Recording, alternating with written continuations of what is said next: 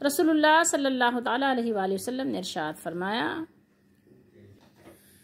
रोज़ादार के मुँह की महक या खुशबू अल्लाह के नज़दीक कस्तूरी की खुशबू से भी ज़्यादा उम्दा है।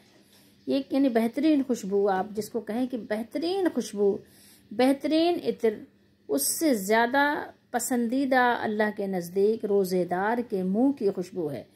मुँह की भी तो एक एक होती है ना स्मेल खुशबू, कुछ भी तो वो अल्लाह ताला को रोज़ेदार के मुँह की बहुत ज़्यादा, जो भी उसके मुँह से यानी स्मेल आती है, अल्लाह को बहुत पसंद है। क्या फरमाया? लखलूफ, ये रसूलुल्लाह सल्लल्लाहु अलैहि वसल्लम के अल्फाज हैं। लखलूफ फमी फमी सोय में फमी मुँह सोय में रोज़ेदार। अतयबो अंदल्लाह मिन रीहल मिस्क ईमान वालों के जो अमल हैं, वो अल्लाह को बहुत पसंद है। ईमान वाला जो भी काम करता है, अल्लाह को पसंद है। लेकिन रोज़ा एक ख़ास अमल है। रोज़े को अल्लाह ताला ने एक ख़ास किस्म की अल्लाह ताला ने इसको अहमियत बयान फरमाई रोज़ेदारों के लिए।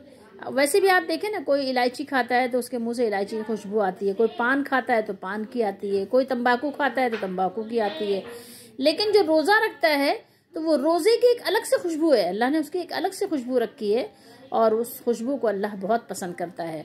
तो अल्लाह ताला हम सबको अपनी रज़ा के लिए ईमान और एहतसाब के साथ रोज़े रखने की तोफ़ी भी दे और हमारे रोज़ों को अल्लाह ताला कबूल फरमाए। आमीन।